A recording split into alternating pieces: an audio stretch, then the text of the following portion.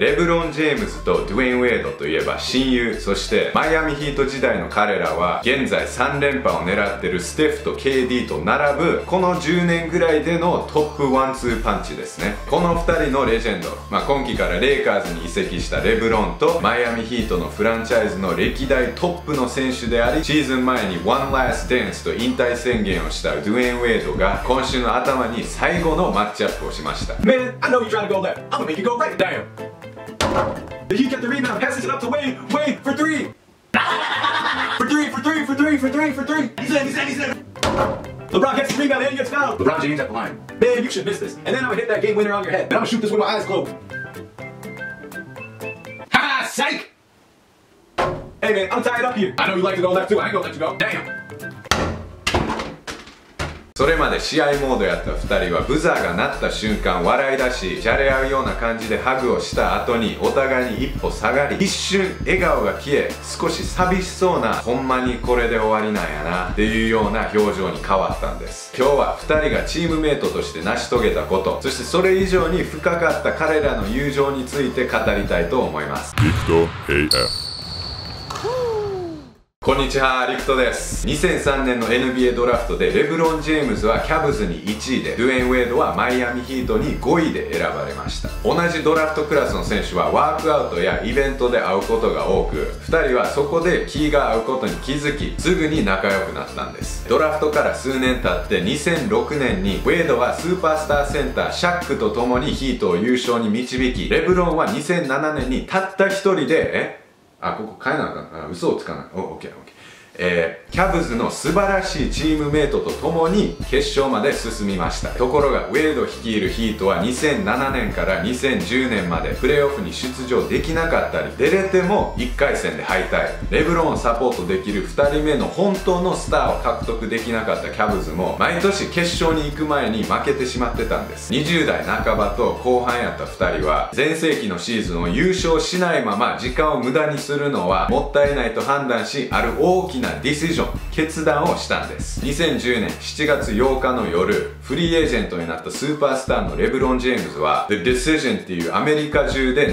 す生放送番組をわざわざセットアップしてもらい約100万人の視聴者の前でどのチームと契約するかを発表することになったんです。結果レブロンは I'm gonna take my talents to South Beach ウェイドのいるマイアミヒートに行くことを発表しヒートファン除いて NBA 界全体にバッシングをされたんです。同時に元ラプターズのオールスターフォワードクリス・ボッシュも加わることになったヒートはあまりにも強すぎるやろうと一気にリーグの嫌われ者チームになったんです。まあねエンターテインメントのために存在してるスポーツの移籍によって本気で怒る人はどうかしてるかなと僕は個人的には思いますが選手の権利なんでね。まあでも残念がる気持ちは分かります。特にレブロンの場合この The Decision をわざわざやったってことに対して怒ってる人が多かったので気持ちは分からなくはないです。全盛期中のオールスターが3人フリーエージェンシーを使って同じチームに移籍することはそれまでになかったので当時ナイスガイイメージがあった KD でさえもなんでやねんと。なんでみんなヒートとレイカーズに行くねん。すでに強いチームに行くんじゃなくてそういう強い奴らをやっつけるっていうのがほんまのやり方やろ。ってツイートしてました。ほんま KD かっこいいこと言うやないかお前。はおいおいおい。あニックスファンの僕は正直レブロンがニックスに来なかったことは少し悔しかったけど2016年に KD がウォリアーズに移籍した時と同じでどんだけ強なんのかなっていうのが怖いもの見たさというか逆に楽しみやったのを覚えてます。優勝して当たり前と言われてたヒートは予想通りその年決勝まで進み逆に西からは誰も予想してなかったおっちゃん軍団ダラス・マーベリックスが決勝まで進み2つの全く違うチームが対戦することになったんですご存知だと思いますがウェイドは普段のスーパースターレベルでプレーしたのになんとレブロンは自分のキャリアの中ではもちろん歴代スーパースターにとっても一番と言っていいほど最悪のプレーオフシリーズとなってしまったんです。プレッシャーに耐えきれなかったレブロンは The Chosen One っていうあだ名がいつの間にか The Frozen One になってしまい3人のオールスター率いるヒートは4-2でダーク・ノビッツキーが唯一のオールスターやったマブズに負けてしまったんです。この時の自信のないレブロンは見ててかわいそうなぐらいやったしこの先これを乗り越えられるのかっていうのも謎でした。その夏色々と考えたウェイドはレブロンにもっと積極的になってええねんぞ。お前がこのチームのエースやでと励ましバトンを渡したんです。当時のウェイドはビッグ3の中で唯一優勝経験があったスーパースターで選手としてはレブロンより少し下やったけどもっと勝負強いもっとクラッチやったし2009年にはリーグの得点王にもなったったことがありおまけに新人の時からマイアミのエースとして活躍してたのでそうですねヒートという自動車の鍵をレブロンに渡すってことはウェイドにとっては簡単なことではなかったはずです。しかしチームにとってはウェイドがナンバーワンプレイヤーになるのではなくレブロンがもっと積極的になり中心選手になるってことがベストやっていうことに気づいたんでしょうね。親友に心強い言葉をもらったレブロンは自信を取り戻し次の2シーズンは MVP を受賞してヒートのビッグ3は2年続けてチームを優勝に導いたんです。2014年は決勝には進んだもののスパーズには敗れその夏レブロンは生まれ育ったオハイオ州に戻り2016年にはあのウォリアーズ相手にキャブズを優勝に導きました。今に至るまで他にも色々とありましたが例えばレブロンがキャブズに戻ることになった時ウェイドには最後の最後まで知らせなかったとかその時よう言われてたのは親友を裏切ったとかレブロンのせいでウェイドがお金を損したとか。あとは去年レブロンがウェイドにキャブズに来いやって言って移籍したのにキャブズが調子悪くてコーチや GM がウェイドをチームから外したいって言うた時レブロンは全くそれを止めに入らなかったとか。普通の友情やったら崩れてたかもしれないことも何回かありました。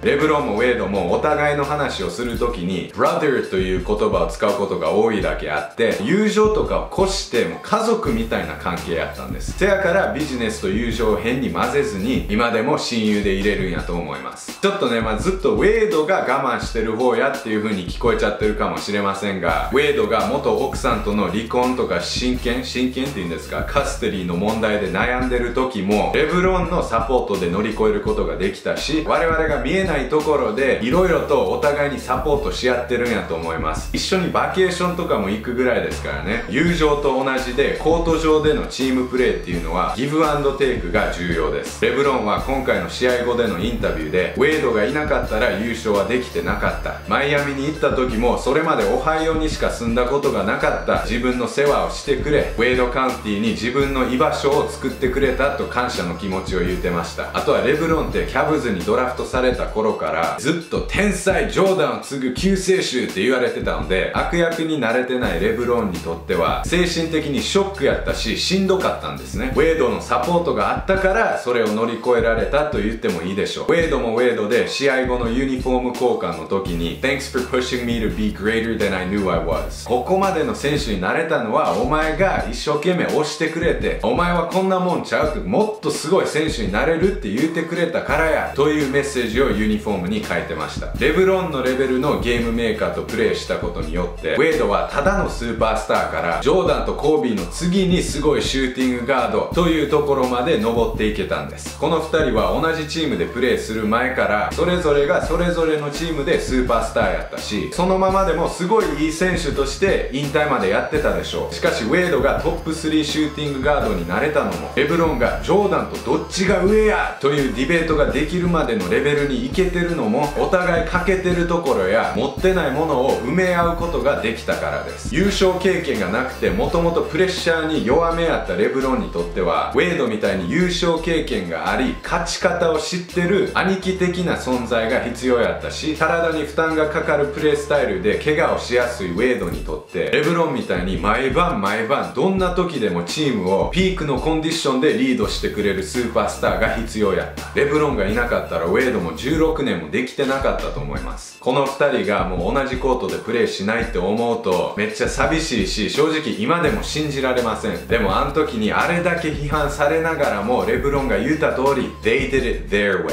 彼らのやり方でやった。それが良かったのか悪かったのかは別として彼らがこのスーパーチームのトレンドを始めたことで今の NBA がこれだけ盛り上がってるっていうのは大げさじゃないと思います。なんやヒートのビッグ3がおったから今のずるいウォリアーズがおるんかと捉える人ももちろんいると思いますがそうネガティブに考えるよりはこのああの時あれだけ嫌われてたヒートやったけどなんやかんや言うて NBA を盛り上げてくれたな。もうあの2人のコンビプレーは YouTube でしか見れなくなるんやな。という寂しい気持ちを逆に5年後10年後きっと今のウォリアーズのこともそう思う日が来るやろうからファンなんやったら今全盛期のカリー KD クレイドレーモンブギー率いるウォリアーズというスーパーチームのいる NBA を精一杯楽しもうという風に考えを変える方が僕は得やと思います。最後に言いたいのはアラン・ヒューストン以外で個人的に一番好きやった選手ドゥエン・ウェイド。まだシーズンは終わってないけどとりあえず16年間お疲れ様でした。そして同じドラフトクラスの奴らがどんどん引退していく中で今でも NBA で一番上手い選手として活躍してるレブロン・ジェームズ。あなたは人間ではありません。はい、えー、皆さんはレブロンとウェイドの最後の試合もしくは2人のレガシーについてどう思うかコメント欄に書き込んでください。これからもバスケ NBA の面白さをみんなで広げていきましょう。デハデハ